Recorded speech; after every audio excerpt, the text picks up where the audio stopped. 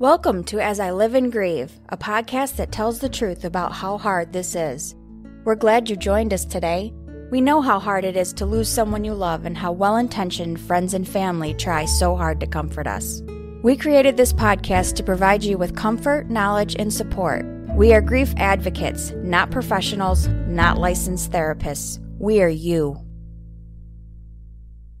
Hi, everyone. Welcome back again to another episode of As I Live and Grieve. I'm so thankful and grateful for every single one of you listeners out there. You really keep me going. And although I don't know you personally, I have no idea how many of you there are. I know in my heart that every one of you is struggling just like each of you, just like I have in the past. I'm certainly not struggling much anymore. And a lot of that is due to you and the fact that you have placed your trust in me and turn to me for some insight and awareness. I have a great guest today. With me today is Tammy Zumbo. Tammy, thanks so much for taking time out of your busy schedule to chat with me today. Thank you, Kathy. Absolutely my pleasure to have you with me today, and I'm really looking forward to our topic. Before we get started, would you just share a little bit of your background with our listeners, please? Sure. So I'm a licensed clinical social worker. I've been in practice for over 30 years. I do specialize in seeing people who would be described as sensitives, empath, light workers would be another term.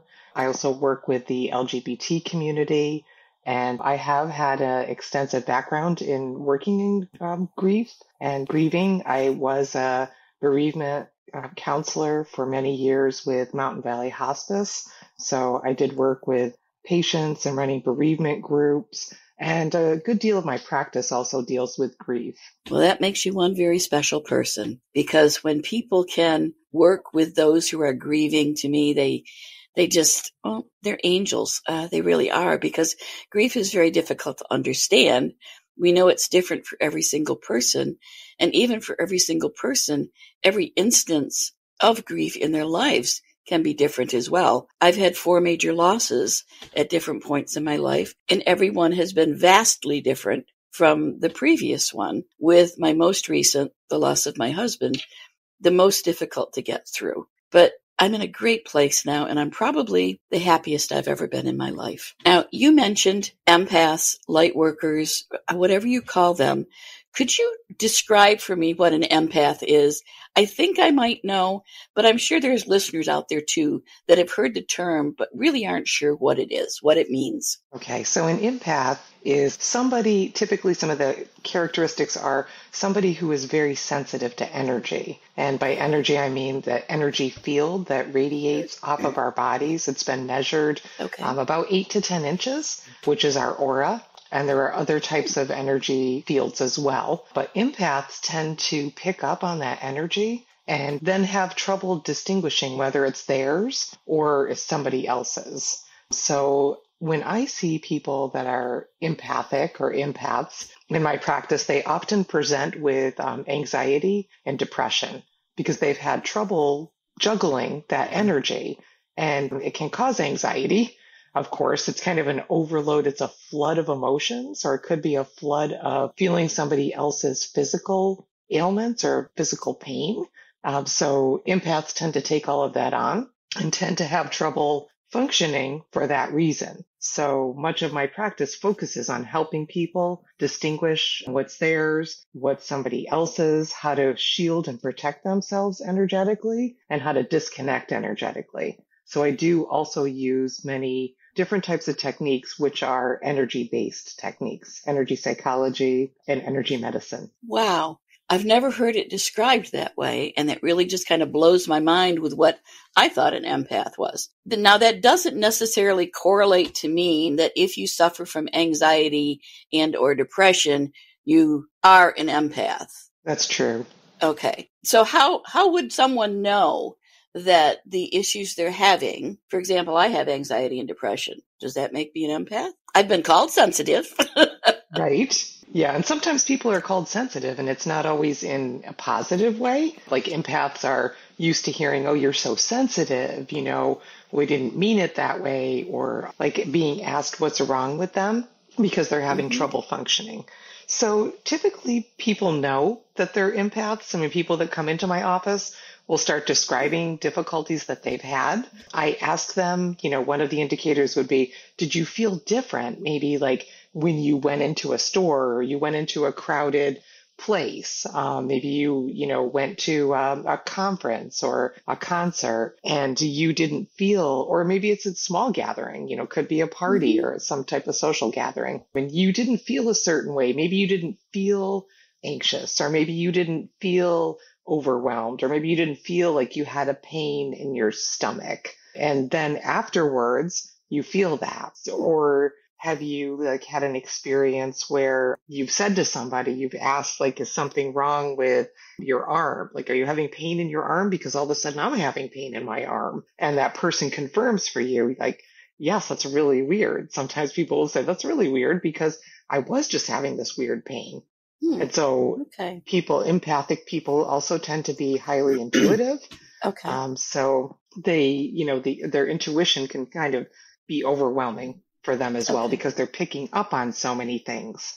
It's kind of like being okay. in a storm and you're not sure how to, you know, how to designate all of that energy, how to filter that energy. Okay. So would it be safe to say that you probably would start noticing more coincidences in how you're feeling as compared to what's happening around you? you there'd be more similarities. Is that a fair statement? That is. Yeah, okay. I should say that's an accurate statement. Okay, all right, that helps. That helps quite a bit.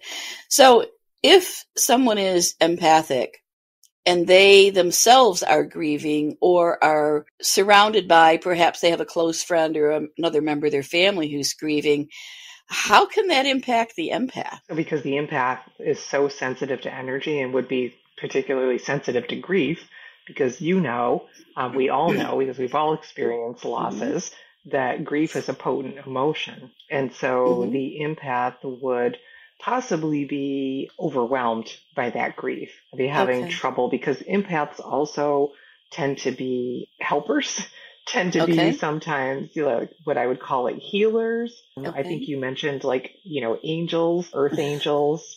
Yeah. I would say are empaths. So they would be trying to sometimes take on the other person's pain Okay. And often that's what they'll say to me is like, I just want to take it on for them.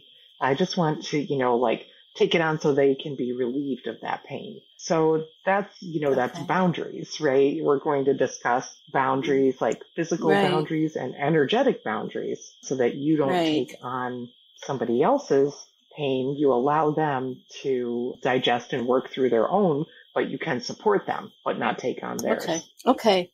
And how would I'm sensing similarities between what empaths feel related to the energy and possibly what mediums might feel in that mediums are able to communicate with that energy can you kind of clarify for me what the difference is between an empath and a medium? So it's interesting that you brought that up, Kathy, because a lot of times empaths are mediums. they may not identify as a medium, but oftentimes I'll see people in my office that will say, I'm not sure, I'm not sure if something's wrong with me because I'm hearing these things or I'm seeing things. And people are kind of, you know, reluctant or hesitant to disclose that sometimes because maybe mm-hmm. they've gotten the message that that might be something that is a mental illness. Right. And something that they may be, like some people will say to me, you know, I don't know if I need to be committed, worried about this, or is it even safe for me to say this to you right. as a mental health practitioner? Right. So some empaths will identify as as mediums or having mediumship type qualities or psychic abilities. That's pretty common with mm-hmm. empaths. So that again can be a source of being, you know, feeling overwhelmed, feeling like maybe I'm not okay. I'm not like my friends. I'm not like my family. They don't tend to fit in. That's a right. big thing with empaths. So of course that causes, right? And that yeah. causes pain because, okay. you know, they were never like their families or okay. their friends or they're feeling like they're different. Okay. All right. Now, you're a social worker, so uh, it's part of your career, your field, to offer therapy to people that are having various problems. Grief can be one of them, of course. And again, it doesn't have to be grief by losing someone through death. It could be grief over loss of a lifestyle, maybe divorce or loss of a job or just whatever. You know, grief in general is just reaction to a loss. So as a social worker, that's part of your practice. So how does being an empath aid that? What other benefit is there to someone seeing an empath if they're grieving and need some help? So, as an empath myself, you're asking, Kathy? Yes. Okay. Um, what do you feel that adds so, to your practice? So, I feel it adds um, an extra sense, an ability to sense energy and to sense, you know, sometimes I know things before my client will say them or sometimes it's difficult, especially in first sessions, for people to say things. And so I can help them because I already know I have a sense of that because I read energy, because I'm okay. highly intuitive and also have some of those medium qualities that I discovered years ago when I was a child. I thought everybody had them. And then I discovered mm-hmm. it's not true. Not everybody talks to spirit or can feel right. or sense spirit. So I felt that that's been helpful. It really has been helpful in working with people who are grieving because I, I do know, you know, I, I just get these senses. I get intuitive hits. I feel things before they say them and I can support them in that. And sometimes like years ago, I didn't, I was reluctant to disclose that I knew this information because as a mental health practitioner, I also didn't mm-hmm. want to appear that maybe something, maybe that I had, you know, uh, that I was hearing voices. This is a concern people. Right. And I've had young kids say that to me, like, I don't know if I should tell you this, but sometimes I hear people in my house and they're not here physically. Mm-hmm. And so mm-hmm. I learned that I needed to share that information with people that okay. I feel that it's, it's a almost a dishonor to not share that. Mm-hmm. And I feel that it's part of my role here and my okay. mission here on this planet. I feel that mm-hmm. is to share that information and to help people to acknowledge that being psychic, being intuitive, being a medium, being an empath is actually a gift and not a burden. And right. it's something we can work with. Right. Um, so it's part of the reason I became a therapist is right. to validate for people that nothing is wrong with you. You're not mentally ill. Maybe you've been told that. Maybe you've had some issues with anxiety or depression or other types of issues, but mm-hmm. it doesn't mean because you're an empath and you're sensitive that you're mentally ill. Okay. And as an empath, when you are grieving or when an empath is grieving, is their grief different? And I know it's different for everyone, but are they more susceptible perhaps to lower lows? I guess is what I'm trying to ask because of their intuitive ability and their sensitivity. Are they, is it more difficult, I guess, for them to grieve? Um, it can be, Kathy. I do think that's accurate. I do have, you know, uh, people that have lost children, and one person in particular I can think of as she's highly intuitive and an empath. And so, in a way, it's helping her to be empathic and to be able to communicate with her child. So, that's, you know, that has been beneficial in her grief, mm-hmm. but also it's difficult in the same sense because she feels it so deeply and she okay. feels her family's grief as well, as we were talking about earlier okay. that she's absorbing that. Okay. So um, it can they can be susceptible to lower lows. Okay. I would say that's accurate. Okay. Yeah, I just I think we as society, as people, just need to do a better job in general of acknowledging that there are things out there that are greater than we are, things that, that not all of us can understand or appreciate if it's not part of our lives. And for a long, long time, you know, people would think, oh, you're a medium. You're just right out there on the edge. You know, you're way out there. But when science now has really been able to prove that it's all about energy and it's all truly all about energy, then you start to reduce your skepticism, I think. You may still hold it because you haven't been touched by that experience that really proves to you personally that this is real. But I think we have to be more open minded to the entire situation that there are people out there with these gifts. And at some point in our lives, we may encounter them. And at some point in our lives, there may be that light bulb moment where you encounter them and experience their talent, their skill, uh, their ability for healing or for using, recognizing that energy for something. So I would just like to encourage people to be a little more open minded in that respect. I know I have become more open minded with so many different guests that I have talked with because I guess my basis for everything is scientific. If I can't see it, touch it, feel it, or prove it, it's hard for me to believe and to grasp. But the more I talk with people, they are offering me little bits and pieces of what I consider scientific and real proof that things happen. And I've been part of little experiments here and there that have been quite exciting for me. So I do want to encourage people to do that. I also want to take a moment and encourage our listeners out there that are grieving, or if you know someone who is grieving and they're having a very, very, very difficult time, that it might be time for them to consider reaching out to a professional and getting more help. Can you help me out, Tammy, on this aspect?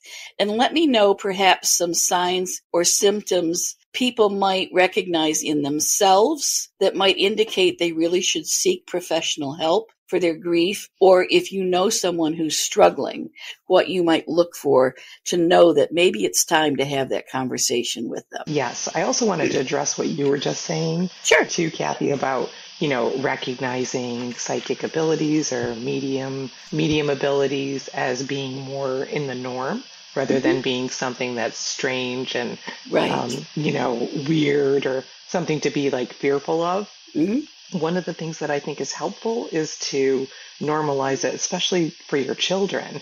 Yes. Right. I mean, one thing I did with my children, because my children are also empathic, and that does ha- tend to happen when the parents are empathic, you tend to have children who are empathic. And so one of the things that I would do is um, say to, you know, my kids, like, um, it's okay if, you know, if you see what, for instance, my grand, my grandmother had passed when I had moved into a new house and my daughter was seeing her in the house. And okay. so we talked about, it's okay that you see Nani it's okay for you to talk to Nani, just to normalize it so that right. it's not weird or scary or your child doesn't feel like something's wrong with them. Um, so it'll allow them to make that language more normal um, and just mm-hmm. part of your, you know, it's energy and everything is mm-hmm. energy. Everything has energy. Plants have energy. People have energy. Animals have energy. So just to talk about that energy and to, you know, to validate and support your children. That's helpful. Um, so as far as grief and depression and just um, recognizing when somebody may be in a space that they may need to talk to a professional, um, some mm-hmm. of the mm-hmm. signs and symptoms to look for are loss of appetite. Sometimes it's a loss of appetite. Other times it's an increase in appetite. So mm-hmm. people may use food to self-medicate and to numb some of that pain. Other times they don't have much of an appetite. Sleeping, sleep disturbance, like sleeping excessively or having trouble sleeping could be another symptom. And with the depression, sometimes it's um, isolation. So if you're seeing somebody that's maybe not really engaging, that's had a loss, you may want to reach out to them in gentle ways they may not be ready to talk. And oftentimes, like, I feel like people sometimes are allergic to grief, that it's very difficult to know what to say to a grieving person. And sometimes you don't need to say anything. Sometimes just, you know, dropping something off at their house or just reaching out with a, a text or a call or they may not be ready to see people, but just to let people, you know, let them know that you're there and ready to support them. Those that's that's great advice. I especially love the the just reach out to them.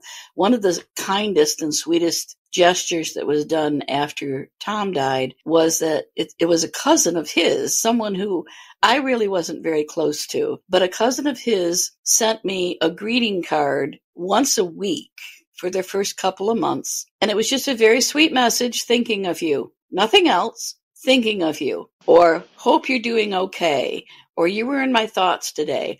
And every week when I went to the mailbox, that card was there. That day just lifted my spirits so much. And then it tapered off after that. But I just thought that was such a sweet, easy thing to do. Buy some cards, stick some stamps on them, write just a few soft, sweet words. And it just let me know that somebody was thinking of me in my grief very, very special, very sweet thing to do. I do sweet. want to encourage, yeah, I, I do want to encourage people. And I almost think that if you just feel yourself that you're struggling, and I know personally, you start to have that thought of, oh my God, I don't want to live like this for the rest of my life. That starts to creep into your thoughts. It wouldn't hurt for you just to reach out to a professional for just one single consultation session. That will do a couple of things for you. It will either validate that you're on the right track and you're doing okay, and maybe you just need a little more time, or it will also let you know that you're really, really struggling and that someone can help you. So if you consider it, I truly think that that is the best solution.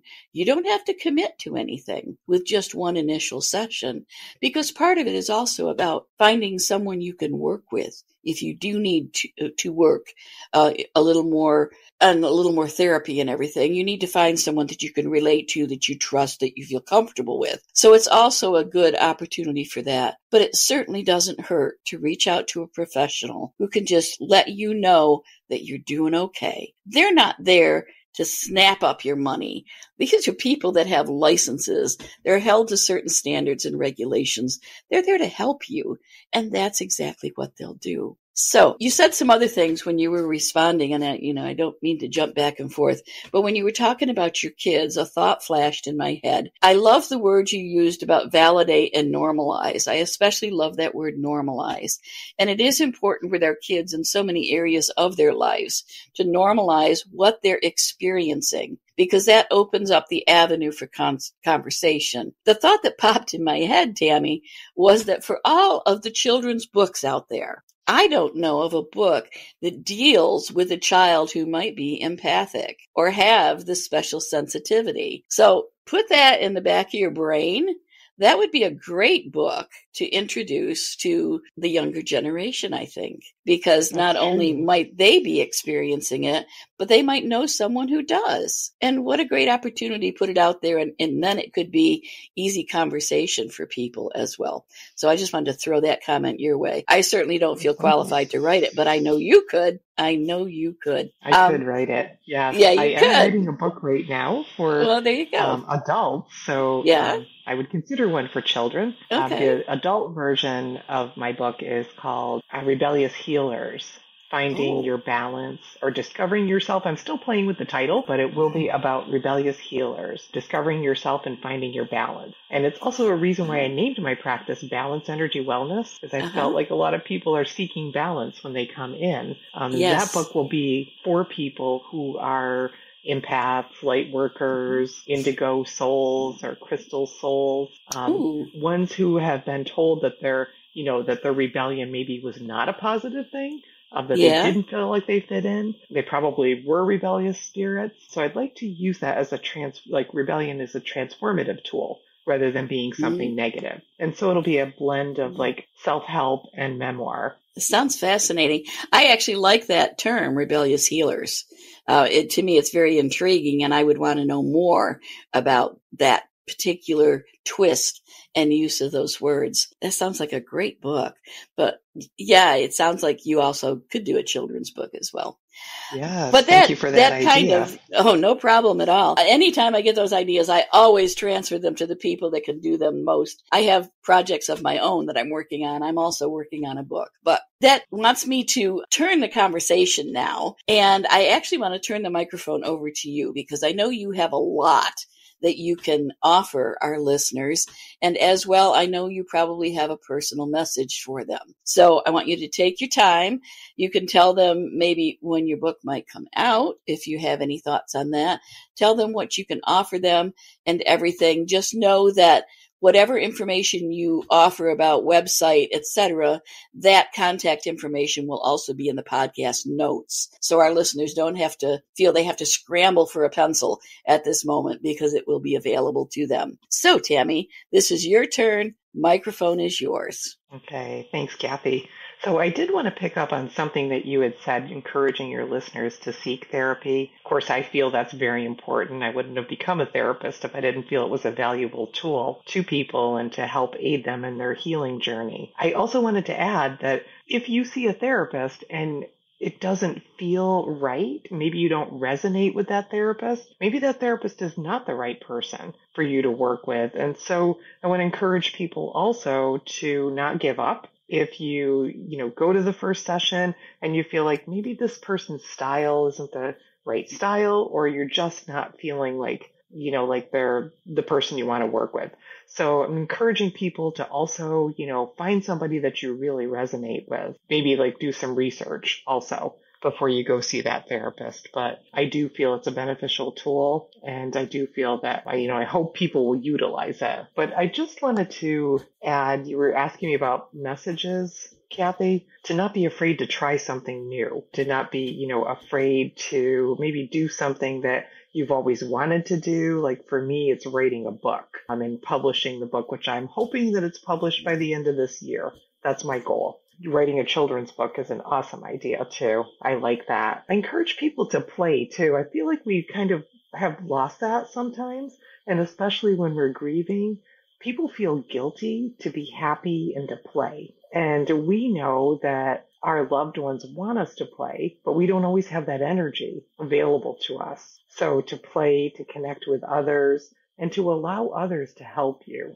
because often as you know as healers ourselves as helpers as therapists as whatever way you identify yourself we have difficulty asking for help so i want to also encourage people to allow others to gift you with their love and support i feel like that's really important and to be willing to look at different modalities so some of the modalities that I use, like energy psychology, for instance, that's tapping. It's also called EFT, emotional freedom technique. And we're tapping on the endpoints of meridians, which are rivers of energy in Chinese medicine. They're very potent energy points because what they do by tapping and we use different phrases while we're tapping to decrease the intensity level of whatever's going on in our lives. It might be to decrease anxiety. It might be to decrease fear. It might be to decrease sadness. Could be used for anything. And what happens when we're using this modality is we rewire the brain by forming new pathways. They're called neural pathways. So we then are able to handle triggers in a different way. And we know grief is very triggering, right? We know that it hits us when we least expect it. Maybe when we're in the grocery store, when it's not a convenient time to be crying and maybe you don't want to right, right. be crying. Um, I was talking to somebody the other day about how grief hits us and it feels like a wave hitting us on the on the back of the legs, like our our you know when we're we have our back face to the ocean and we don't know that wave's coming and then we feel like our footing is being lost as the wave recedes. Yes. So it feels like that. And you would also mention that it's not always grief related to a physical loss of a person. It could be right. a loss of a job, a loss of a relationship, a loss of a pet, divorce, even though maybe it's something you wanted and it wasn't a healthy relationship. Yes. You still grieve. So stepping into your authenticity. I also feel that that can be a loss because you shed and leave the old behind you. Mm-hmm. So there's many different types of losses that energy modalities help with as well. And how can people reach you? Um, so they can reach me through my website, which is www.tammyzumbo.com. Also email, which is tammylcswr at gmail.com. Super, super. Okay. As I said before, Tammy's contact information will be in the podcast notes, so you don't have to try to commit it to memory. We'll make it very easy for you. If for some reason you can't find it somewhere or can't reach her, feel free to reach out to me by email and I will certainly put you in contact with her. You know, I hate this time when our time has run out for the episode and everything, but I keep in my mind, in the back of my mind, that there's going to be another episode beyond this one. So that means I have to say goodbye for the day. Tammy, thank you so, so much for taking time out of your schedule to chat with me. I know you're going to return because we've already talked about a potential topic for a second episode, and everyone will be delighted with that as well to my listeners out there, remember self care. It's the one thing that I remind you of episode after episode after episode, because to me, it's critical when you're grieving. It's critical if you know someone who's grieving. Try to do something very small to help them take care of themselves. And for me, self care can be as simple as hanging out with the right people. So be the supportive person in someone's life if they're grieving. Be there maybe not for conversation, maybe to listen, maybe to just sit in silence and watch a TV show or sit on the edge of a dock with your feet in the water, side by side just in companionship. The other thing you can do as they pr- progress in their grief is to remember to mention the name of the loved one they lost. My heart just brightens when someone says something about Tom. You know, oh, that's a baseball cap that Tom would have loved. Look at that t shirt. Did Tom have one of those? It just makes my day. And maybe I wasn't even thinking of him at the moment, but the fact that someone else has a memory of him is really, really important. So again, self care, love each other, support each other, be there for each other, and please come back again next week as we all continue to live and grieve. Thank you so much for listening with us today. Do you have a topic that you'd like us to cover, or do you have a question from one of our episodes? Please email us at info at asiliveandgrieve.com and let us know. We hope you will find a moment to leave a review, send an email, and share with others. Join us next time as we continue to live and grieve together.